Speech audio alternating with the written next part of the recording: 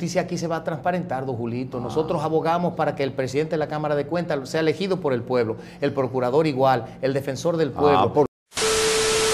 Aquí el procurador general de la República, el presidente de la Cámara de Cuentas, tiene que ser elegido por el pueblo. Cada provincia van a ser elegidos por los moradores de esa provincia.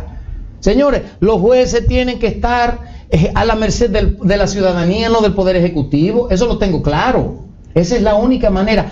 ¿En qué país del mundo vamos a ver el presidente del organismo que se encarga de la veeduría en contra de la corrupción del gobierno y lo designa el presidente con el control, digo, con la anuencia del, del Senado que controla el Poder Ejecutivo?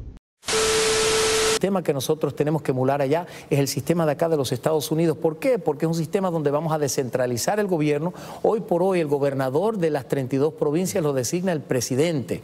Entonces eso es imposible. El presidente de la Cámara de Cuentas, que es supuestamente el organismo vedor, vamos a decir, en contra de la corrupción, lo designa el presidente. El procurador eh, eh, general y cargos así que tienen que ser electivos para impulsar una verdadera democracia.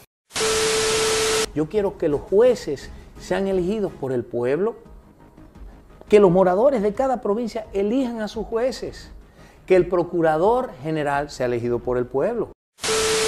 Luis, por ejemplo, es alguien que, tiene muchos años en la política y de hecho ha asumido el discurso mío en de sus, eh, eh, muchos de sus planteamientos, en el tema migratorio, en el tema de la mujer. Eh, es más, yo lo veo hablando y me veo en el espejo incluso. you